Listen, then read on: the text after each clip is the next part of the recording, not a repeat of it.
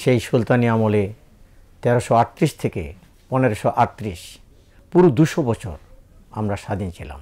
এবং তিনি প্রথম আমাদের একজন শাসক, যিনি তার নামের মধ্যে আমাদের দেশকে যুক্ত করে, নামের টাইটেল তিনি ব্যবহার করেছেন, শামসুদ্দিন ইলিয়াস শাহ শাহ ই বাঙ্গালা।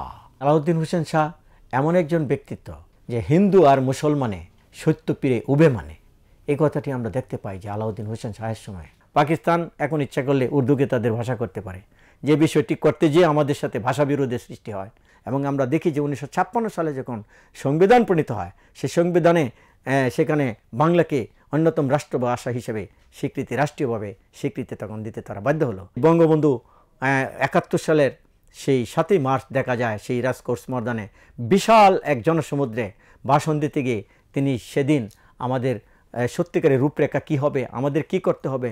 যদি প্রত্যেক ঘরে ঘরে তিনি দুর্গ গড়ে তোলার তিনি আহ্বান জানালেন, তিনি এবারের সংগ্রাম, মুক্তির সংগ্রাম বলেন, এবারের সংগ্রাম, স্বাধীনতার সংগ্রাম বলেন, এবং সেটি ছিল আমাদের স্বাধীনতার আদি ঘোষণা।